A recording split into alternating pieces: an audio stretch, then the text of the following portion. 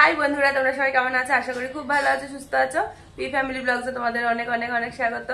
আর এখন সন্ধ্যে সাড়ে ছটা বাজে, এখন থেকে আমি আমার ব্লগটা শুরু করছি।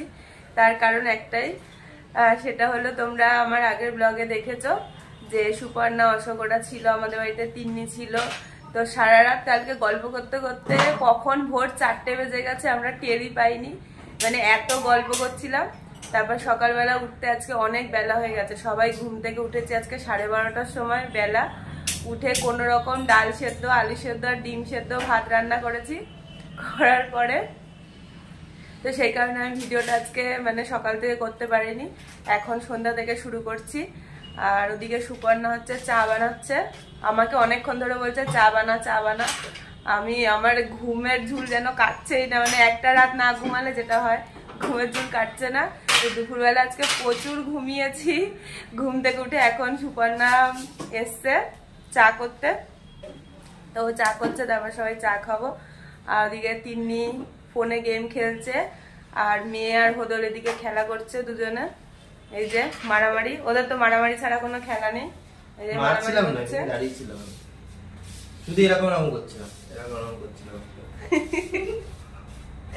সারাক্ষণ দুজনের মারামারি লেগেই আছে। চাটা না খেলে একদম ফ্রেশ মনে হচ্ছে না চাটা আগে খেতে হবে তারপর একটু ফ্রেশ লাগবে। দেখো সবাই এখন গোল হয়ে বসে আমরা চা খেতে বসেছি এই যে। আমরা চা অভিযানে চা- কত কাপ চা? আর এইদিকে হচ্ছে বসে আছে ভাবুক। আজকে এই কম্বলগুলো সব রোদে দিয়েছিলাম। আর তুলে এনে হোদল রেখেছে। আমি তো ঘুমাচ্ছিলাম আর ও কম্বলগুলো তুলে এনে সব এখানে রেখেছে। এই যে এখন সন্ধ্যার টিফিনে ফুচকা নিয়ে এসছে। অশোক নিয়ে এসছে ফুচকা আর এখন সবাই ফুচকা খাচ্ছে। আমিও খেয়েছি প্রচণ্ড ঝাল দিয়েছে। খুব ঝাল। আর এটা কে বলো তো এদের মুখ দেখা। এটা হচ্ছে তিন্নির বান্ধবী তিন্নির বেস্ট ফ্রেন্ড ওকে নিয়ে এসছে তিন্নি। ফুচকা খাওয়াতে আর ওর ফিগারটা একটু দেখো পুরো জিরো ফিগার বানানো রে ভাই ও করিনা কাপুর হওয়ার চেষ্টা করছে জিরো ফিগার নিয়ে।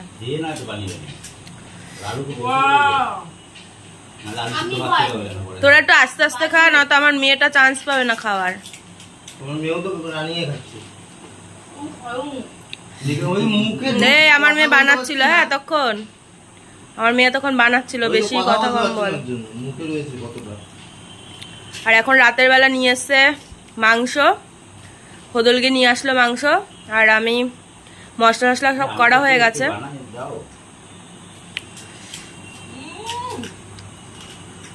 দারুণ না? বিশাল। খুব ঝাল হয়েছে। দেখো আজকে মাংসটা একটু অন্যরকম করে করব। সব মশলা মাখিয়ে নিয়ে তারপরে করব।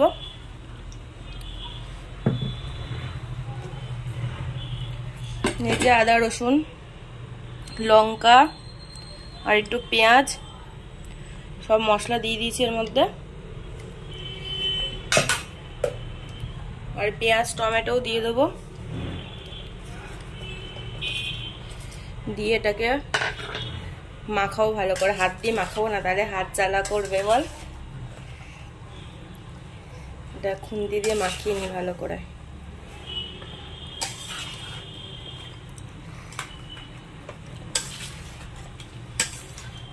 ডায়ের মধ্যে একটু নুন দিয়ে দিবা। হ্যাঁ, নুন। আজকে এটা অন্যরকম ভাবে হচ্ছে তাই তো? হ্যাঁ। মশলা মাখিয়ে করছি। আমি এরকম ভাবে করি না। আজকে মন ছিল করতে। টাইম আছে তার জন্য। এতটা নুন দিচ্ছ বেশি হবে না তো? না না অল্প দিলাম না একটু হলুদ দিয়ে দিই।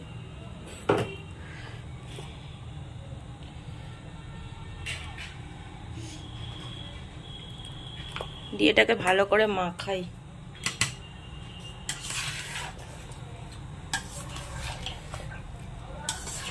আমার জানিস তো জ্বর জ্বর লাগছে খুব। বললাম তো ওষুধ আগে খেয়ে নিতে খেয়ে দিয়ে তারপর একটু রেস্ট নাও নিয়ে তারপর ভালো লাগছে না একদম শরীরটা। মনে হচ্ছে জ্বর আসবে। গা হাত পাটাও যন্ত্রণা করছে খুব। এখনও টাইম আছে ওষুধটা খেয়ে নাও নিয়ে তারপর রান্না করো। এটা যতক্ষণ একটু থাকুক মশলা মাখানো অবস্থায়। তারপর তো আবার টক জল দিয়ে ফুচকা খেলাম।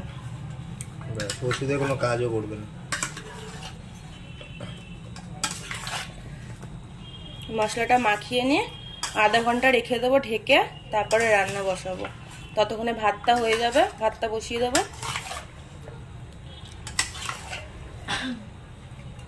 ব্যাস এবার ঢাকা দিয়ে রেখে দিই। এ দেখো আধা ঘণ্টা হয়ে গেছে আমি মশলাটা মাখিয়ে রেখেছি। জল বেরিয়েছে কেন এতটা? এবার এটা পুরোটা ঢেলে দেবো। তেল গরম হয়েছে আর সাদা জিরে আর তেজপাতা ফোড়ন দিয়েছি। দেখে মনে হচ্ছে রান্না করা মাংস হ্যাঁ? হুম কিন্তু এটা দেবো কি করে? আস্তে আস্তে দাও না তো তেল ছিটকে খেতে আমি দিয়ে দিচ্ছি ছিটবে না।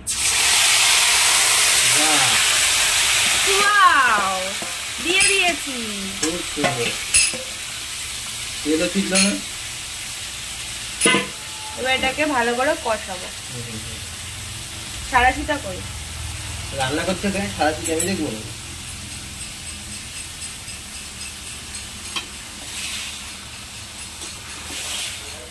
দেখো আমার পুরো কষানো কমপ্লিট এবার জল দিয়ে দেবো। আর এখানে আমি গরম জল বসিয়েছি মাংসের জন্য। গরম জলটা ঢেলে দেবো। আলাদা করে বসালে কি হবে জলটা? ভালো? গরম জল দিলে ভালো হবে।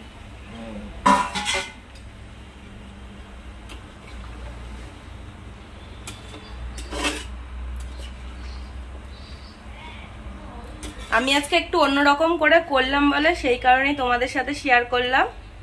কারণ চিকেনটা তো সবাই মোটামুটি রান্না করতে সবাই জানে, কিন্তু আমি আজকে একটু অন্যরকম করলাম। সেই কারণে ভাবলাম তোমাদের সাথে একটু শেয়ার করি, তাই আজকে একটু শেয়ার করলাম। তোমরা আবার ভেবো না যে তোমাদেরকে শেখাচ্ছি।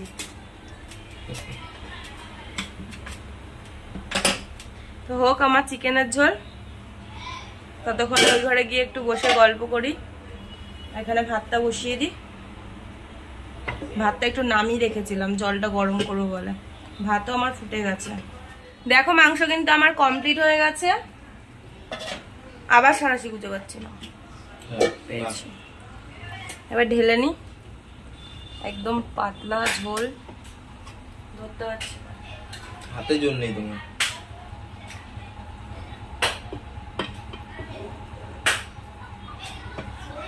দেখো আবার ফেলে দিও না তোমার। কায়দা দেখে সুবিধার মনে হচ্ছে না।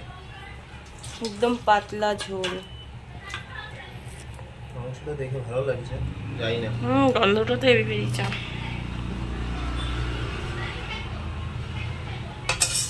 একটু ঝোল না রাখলে এতগুলো লোক তো, ওই জন্য একটু ঝোল রাখলাম।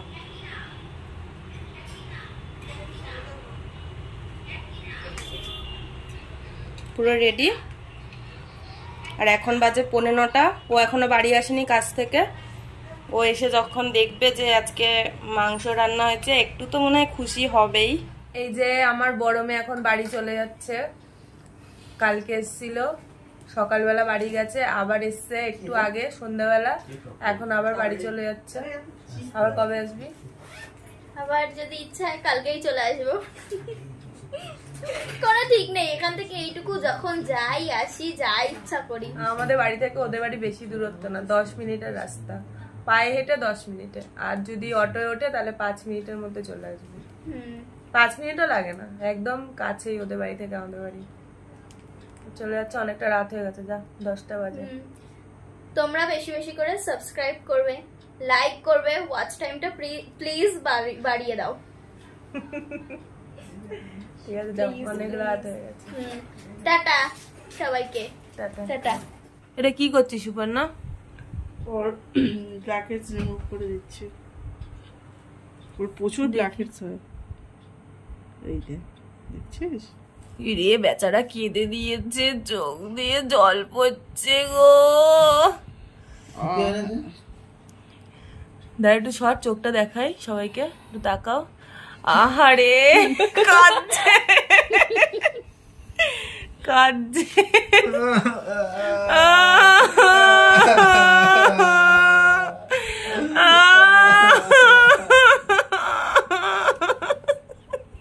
কি গো? দুপুরবেলা তো ডাল সিদ্ধ আলু সিদ্ধ খেলে রাতেও আলু সিদ্ধ ভাত করেছি। আলু সিদ্ধ হয়েছে তো কি হয়েছে আমি সব খাই। কিন্তু মনে হয় না আলু সিদ্ধ করেছি জানি না। তুমি তো ফোন করে বললে খাসির দোকান খোলা আছে কিনা? খাসি টাসি করেছ নাকি? খাসির দোকান তো তুমি বললে বন্ধ। তাহলে আর কি হবে? খাসি দোকানদারি কবে দিয়ে করছে? তাহলে আলু ভাতে ভাত আর কপালে হাত। আলু ভাতে আর ভাত। তাই খাবে। আলু ভাতে আর ভাত কতটা খাওয়া আলু নিয়ে- ভাতে আর ভাত। খাওয়া নিয়ে কোনো চিন্তা করতে হবে না। জায়গাটা কিছু হলেই হবে। গন্ধটা কোথা পেয়েছে? গন্ধ তো বেরোচ্ছে। আলু ভাতে। ভরপুর। তো তুমি তোমাকে তো বললাম খাসি নিয়ে আসো। তুমি তো বললা দোকান বন্ধ। এখন মিথ্যা কথা বলেছ না সত্যি কথা বলেছ? মুরগি তো ছিল। কিপটেমি তো করতে পারো? পয়সার জন্য হয়তো বললে খাসির দোকান বন্ধ। তা টাকাও শুয়ে আছো কেন? তুমি? তুমি মিথ্যে কথা বলছো তো কি বলব? তো তুমি বললে কেন? দোকান বন্ধ? মিথ্যা কথা না? সত্যি দোকান বন্ধ। এখানে কি সন্ধ্যাবেলা খোলে নাকি? পুজোর সময় খুলবে সন্ধ্যাবেলা। এখন হচ্ছে তোমার ওই মুরগি টুরগি এনেছো সেটা বলো। গন্ধ কি পাচ্ছ? মনে হচ্ছে তো অন্য কিছু হয়েছে। দেখতে হবে এখন গিয়ে আমি খাওয়ার সময় দেখতে হবে কি হয়েছে।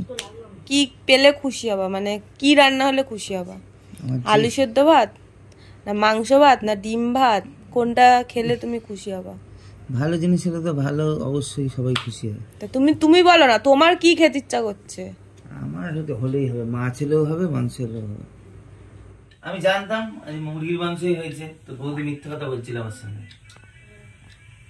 দেখি তুমি তো মিথ্যা কথা বললে খাসির দোকান বন্ধ। খাসির দোকান বন্ধ? মুরগি মাংস করে বলছে খাসির দোকান খোলা আছে আমাকে বলছে।